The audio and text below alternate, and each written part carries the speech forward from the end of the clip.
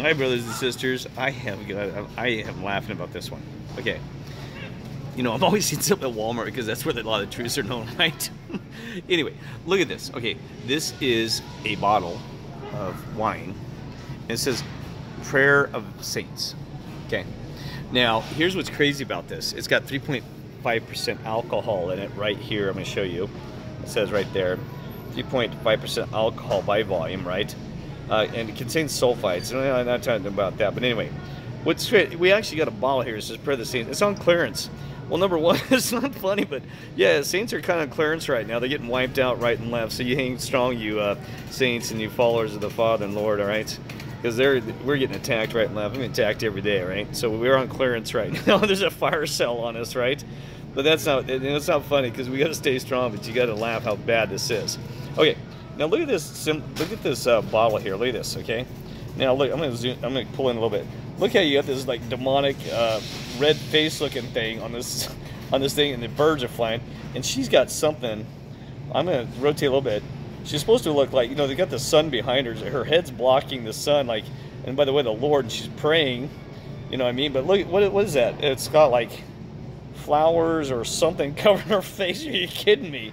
And then what do we got over here? Let's see what we got over here. Um, let's see here. We got some. I don't know what that is. Let's see here. Uh, see. We got some red like mountains or hills or something. I'm trying to see if I can read a spiritual read on that in that drawing. It looks like something is in there on next to that bird. I'm trying to hold this thing at the same time, right? But anyway, then you know, I think you, a lot of times we see the Lord depicted with a, a sun around his face and stuff like this. We got this lady like praying to the something. I, what is she praying to? I mean, not even the sun or in the. I mean, you don't pray to the sun, but what is she? It is wild. And look at this. I mean, okay, what do you got down here? What? What is this other thing here? There's actually something in there too. Let's see. I'm rotating a little bit. Oh my goodness, I can't tell. I'm gonna have to look at this later. I'm trying to focus here on some of the stuff. Let's see, she's got she's got her wristband on, and I mean, oh, I know behind her. That's like that. What do you call it? Like an iPad Go 2. Was it the? I can't remember that. You know, I'm not sure. You know what that is? It's not the lily, but it's whatever. Um, anyway, so I'm a little tired here. Let's see. Let's look in here. But anyway, doves a peace. You got Satan right between there, or something. Some evil-looking face. Are you kidding me, people? Yeah, um, alcohol. They call it spirits for reasons. It brings out the evil spirits in you, right? I'm not judging brothers and sisters that drink and stuff like that. Uh, as long as, and I don't know, you know, I'm not judging, but I'm telling you what, spirits is written right in front of you. Prayers of saints. Chardonnay, Washington State. Our true self lies somewhere between a various good side and a indulgent dark side? What? One's true self lies somewhere between. No! Everybody's true supposed to be on the good side no matter what, not in between. I mean, seriously, that's like programming you to be dark and good. So what are you going to choose every day which side you're going to be on and we all fall in between there? No, you want to be 100% way to the good side. It's like saying you're half blind or you know you're either pregnant or you're not or you're half blind or you aren't blind are you kidding me that's ridiculous um, uh, what's it say i'm sorry because i don't have my reading glasses on it says this chardonnay is tempting for the sort the, the for the saint in all of us okay for the saint in all of us and then it says light bright and refreshing with a touch of softness. Hmm. Well, you kind of be hard as a rock in this world with the Father and Lord, but uh, yeah, you're soft. That's lukewarm Christians, soft-hearted Christians, and that's why we're in trouble. I been talking to a former guy who was in Korea, Vietnam. He knows the truth. He said, "Man, I'm telling you," he said it's a nightmare. He said these uh, lukewarm Christians and all this other stuff were in the mess. He said nobody wants to rise with us. Um, anyway, nobody wants to go in there, right? Boy, you got a lot of clearance on here.